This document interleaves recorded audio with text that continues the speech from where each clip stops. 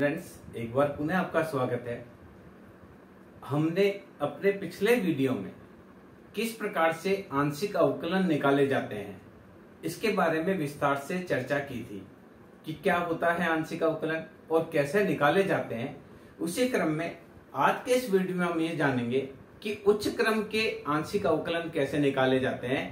यानी कोई फलन ऐसा हो जिसका एक से अधिक बार आपको अवकलन करना हो तो ऐसी स्थिति में उसके आंशिक अवकलन किस प्रकार से कैलकुलेट किए जा सकते हैं, इसके बारे में हम विस्तार से चर्चा करेंगे। जैसे यदि कोई फलन है, उस function of x z is equal to function of x y है तो del z by del x ये एक्स के संदर्भ में आंशिक अवकलन है, और del z by del y ये वाई के संदर्भ में आंशिक अवकलन है, जो कि हमने पहले वाले वीडियो में सीखा था।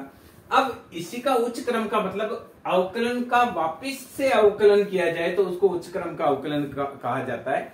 जैसे यदि कोई फलन है, उस फलन का जो पहले x के सापेक्ष आपने अवकलन किया, जैसे देखिए, z z is equal to function of x.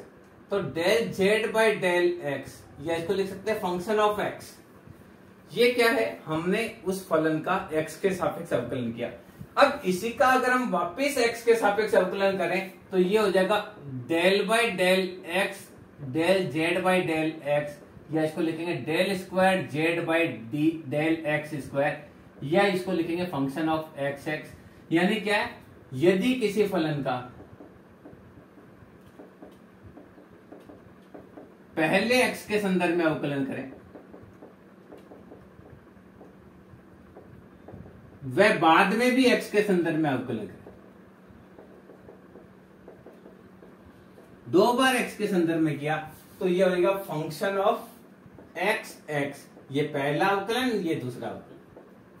अगर मान लीजिए पहले, किसी फलन का पहले एक्स के संदर्भ में अवकलन करें तो ये हो जाएगा del z by del x ये किसी फलन का पहले एक्स के संदर्भ में। और अगर मैं इसका वापिस डेल बाई डेल वाई के संदर्भ में करूँ तो बाद में ये वाई के संदर्भ में होगा तो इसको बोलेंगे function of z function of x यानी क्या है? कोई फलन ऐसा है जिसका पहले एक्स के संदर्भ में अवकलन करते हैं और बाद में वाई के संदर्भ में अवकलन करते हैं। तो ये देखिए फ़र्स्ट और सेकंड अवकलन के हिसाब से उच्च क्रम के अवकलन होते हैं। जैसे देखिए del square z upon d del x square यानी पहले x के संदर्भ में फलन का, पहले x के संदर्भ में अवकलन करें। बाद में भी x के संदर्भ में। यानी दो बार x के संदर्भ में अवकलन करें। तो ये हो जाएगा, कैसे निकाला ये? Del z by del x एक बार किया, फिर इसका डी बाई डी एक्स किया। तो आएगा del square z by del x square या इसको हम लिख सकते हैं जेड एक्स एक्स या इसको लिख सकते हैं फ़ंक्शन एक्स एक्स पहली बार एक्स का, दूसरी बार भी एक्स का. अब कोई फलन ऐसा है जिसका पहले एक्स के संदर्भ में और बाद में वाई के संदर्भ में. देखिए एक्स के संदर्भ में करेंगे तो del z by del x ये फलन का पहले एक्स के संदर्भ में अवकल. किसके संदर्भ में हुआ? एक्स के संदर्भ में. और इसका फल डेल बाई डी वाई करें, यानी फ़ंक्शन ऑफ़ वाई एक्स है। तो ये पहले एक्स के और बाद में वाई के संदर्भ में। यदि कोई फलन पहले वाई के संदर्भ में करें तो del z by del y तो ये हुआ पहले वाई के संदर्भ में, और इसका बाद में हम एक्स के संदर्भ में करें डेल बाई डेल एक्स तो इसको लिखेंगे फ़ंक्शन एक्स वाई यानी पहला ये है सेकंड ये है। ये पहला, ये सेकंड यानी पहले हमने इसका y के संदर्भ में किया, दूसरी बार हमने इसका x के संदर्भ में किया। और अगर कोई फलन del z by del y है, इसका वापिस हमने y के संदर्भ में किया तो इसको बोलेंगे फ़ंक्शन वाई वाई यानी पहले y के संदर्भ में और दूसरी बार भी y के संदर्भ में।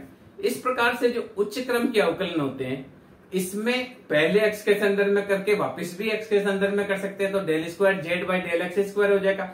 यदि पहले y के संदर्भ में किया, दोबारा भी हमने y के संदर्भ में किया तो del square z by del y square हो जाएगा। यदि हमने पहले क्या पहले x के संदर्भ में किया, बाद में y के संदर्भ में किया तो हो जाएगा del square z by del y del x हो जाएगा। या हमने पहले y के संदर्भ में किया है, बाद में x के संदर्भ में किया है तो हो जाएगा del square z del x और डेल वाई तो देखिए अब इनके सवाल करेंगे तो आपको समझ में आएगा कि किस प्रकार से उच्च क्रम के अवकलन निकाले जाते हैं हायर ऑर्डर पार्शियल डिफरेंशिएशन किस प्रकार से निकाले जाते हैं। सामान्य रूप से इसके लिए आपको क्या करना पड़ता है एक से अधिक बार अवकलन हम करते हैं तो हम उस, उस प्रकार के अवकलनों को हम बोलते हैं कि ये जो है हायर ऑर्डर डिफरेंशिएशन है।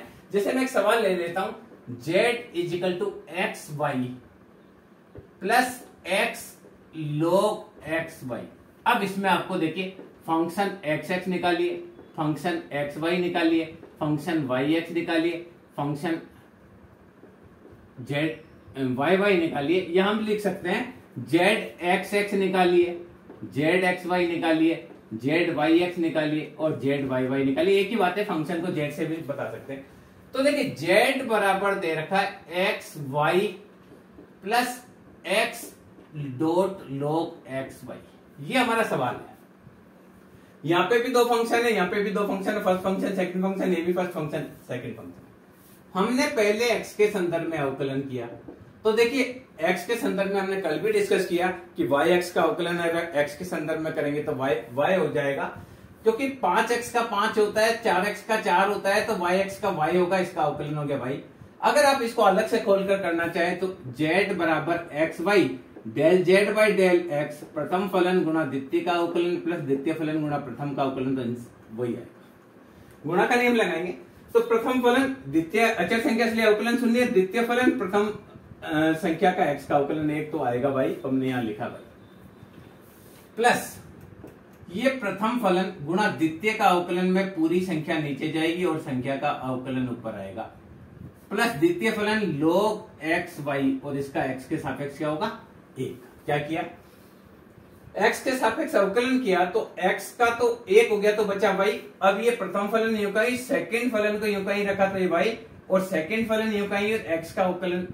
गुणा का नियम हमारा क्या कहता है? प्रथम फलन गुणा द्वितीय का अवकलन प्लस द्वितीय फलन गुणा प्रथम का अवकलन। तो del z by del x का मान हो गया y प्लस वाई से y कट गया एक्स एक्स कट गया तो one plus log x y अब इसका दोबारा हम एक्स के सापेक्ष करें तो ये हो जाएगा del z by del x का हम वापिस डेल बाई डेल एक्स करें। तो इसको लिखेंगे del square z by del x square दोबारा एक्स के संदर्भ में ये ज़ीरो प्लस ये ज़ीरो ये लोग के साथ नीचे संख्या पूरी जाएगी और संख्या का अवकलन ऊपर होगा। तो वाई से वाई कटेगा तो आंसर आएगा वन बाई एक्स यानी फ़ंक्शन ऑफ़ एक्स एक्स का मान क्या है? एक बटे एक्स क्लियर क्या किया? पहले एक्स के सापेक्ष किया, दोबारा भी एक्स के सापेक्ष किया। अब देखिए, मैं इसका वाई के सापेक्ष करूँ तो। ये del z by del x तो del z by del x का मैं del by del y y के सापेक्ष करूँ तो ये हो जाएगा जेड वाई एक्स यानी फ़र्स्ट तो एक्स के सापेक्ष या सेकंड वाई के सापेक्ष। तो इसका वाई के सापेक्ष करना है। तो इसका एक, इसका ज़ीरो प्लस एक बटे एक्स वाई और वाई के सापेक्ष यहाँ क्या होगा? एक्स क्या किया? Y के सापेक्ष किया del z by del x का तो y का तो हो गया एक एक का हो गया ज़ीरो ये लोग के साथ पूरी संख्या नीचे गई और एक्स वाई का अवकलन हम दिखेंगे तो x आएगा। तो x से x कट गया तो आया one plus one by y ये आया फ़ंक्शन ऑफ़ वाई एक्स ये हमने दो चीज़ निकाल ली। क्या निकाल ली? फ़ंक्शन ऑफ़ एक्स एक्स निकाल लिया फ़ंक्शन ऑफ़ वाई एक्स निकाल लिया। ये मान आया one plus one by y और पहले वाला जो मान आया था, इसका दोबारा एक्स के सापेक्ष करेंगे तो वन बाई वाई आया था। इसका ज़ीरो हो गया, इसका ज़ीरो हो गया, वन बाई एक्स वाई और उसका ऊपर वाई से वाई मल्टीप्लाई हुआ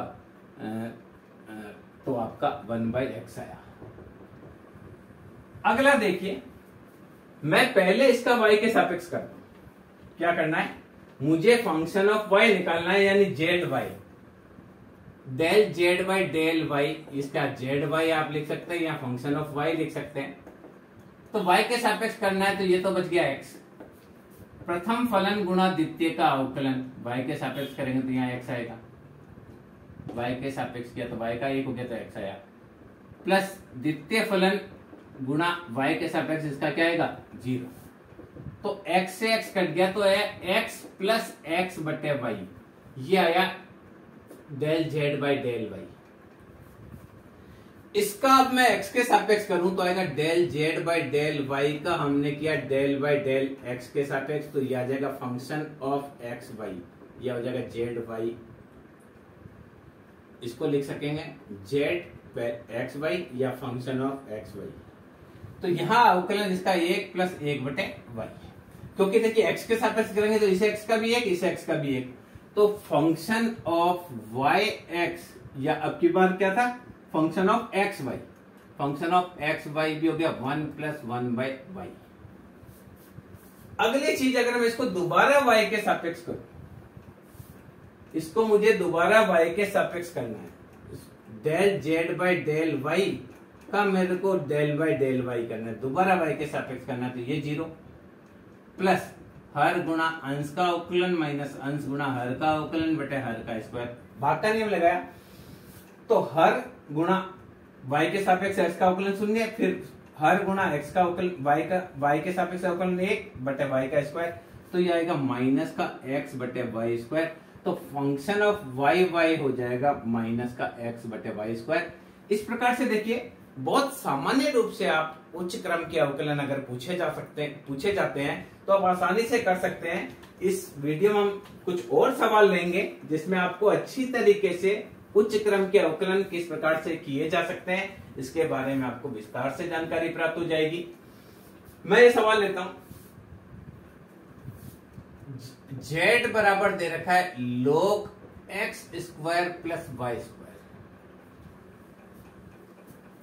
तो z x x z x y z y x z y y निकालो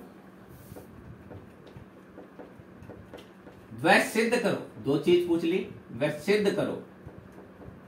Del square z by del x square plus del square z by del y square का मान क्या आएगा? ज़ीरो। दो चीज़ पूछ ली।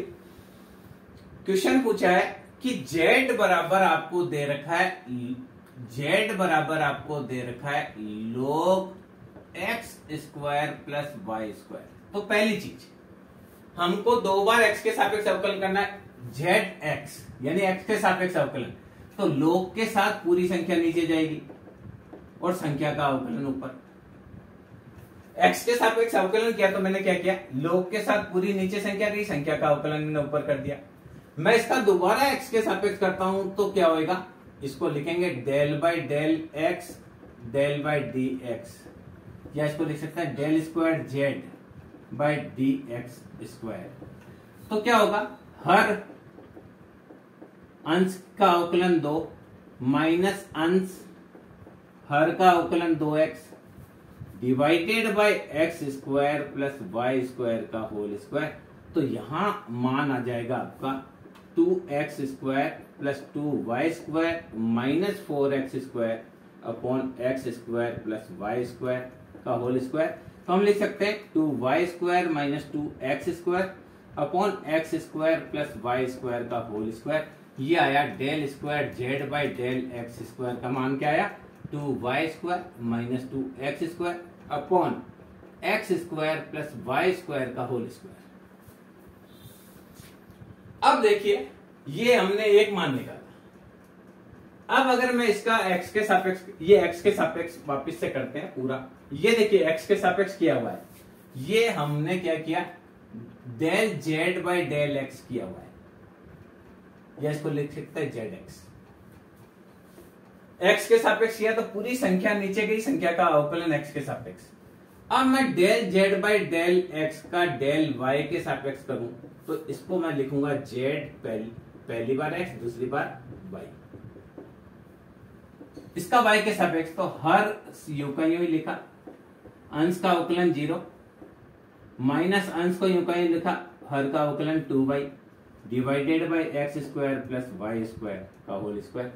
तो यह आया del square z by del x del y इसका मान आया minus four x y upon x plus y x square plus y square का होल स्क्वायर अब देखिए, बहुत सिंपल है। नीचे वाली संख्या को एक रखा, ऊपर वाली का अवकलन किया, फिर ऊपर वाली को एक रखा, नीचे का वाई के सापेक्ष अवकलन किया तो फोर एक्स वाई अब मेरे को वाई के सापेक्ष करना है। फिर दो चीज़ जो प्रूव करनी है वो हम बताएँगे। Del z by del y या इसको हम लिखेंगे जेड वाई वाई के सापेक्ष पूरी संख्या नीचे गई और संख्या का अवकलन वाई के सापेक्ष टू है। अब मेरे को दोबारा वाई के सापेक्ष लगना है तो जेड वाई वाई लिखूँगा या del by del y d z by d y लिख सकता हूँ या del square z by del y square लिख सकता हूँ। वाई के सापेक्ष अवकलन करना है। नीचे नीचे वाली संख्या को यूँ का यूँ रखा। ऊपर वाली का अवकलन टू, माइनस टू वाई का यूँ का ही रखा, नीचे वाली का अवकलन two y, but x square plus y square का होल स्क्वायर भाग का नियम लगाया। तो यहाँ आएगा two x square minus two y square upon x square plus y square का होल स्क्वायर। तो ये आपका हो गया del square z by del y square का मान हो गया। Two x square minus two y square upon x square plus y square का होल स्क्वायर